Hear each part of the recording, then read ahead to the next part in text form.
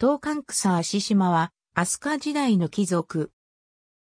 姓は自家。一回は不明。茅氏は、大和の綾氏の同族で、近江国愛知郡加野里の地名によるものである。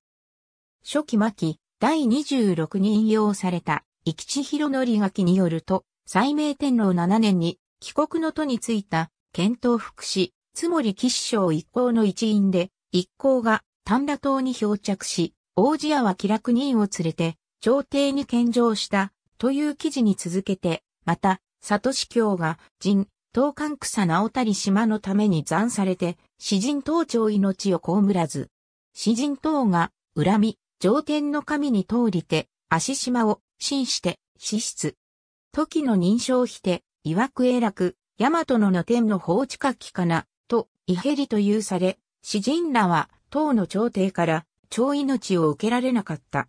詩人らの怒りは、上天の神に通じて、足島は雷に打たれて死んだ。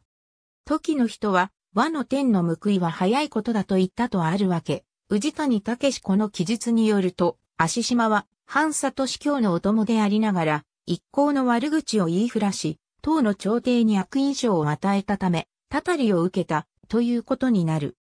しかし、同様の記述は、同じ、生地広則書きの西明天皇5年の記事に、12月3日に、反里司教が、人、西関大麻呂、曲げて我が客を残すとあり、これにより、反里司教は、党の政府によって、三千里の外に流罪になっている。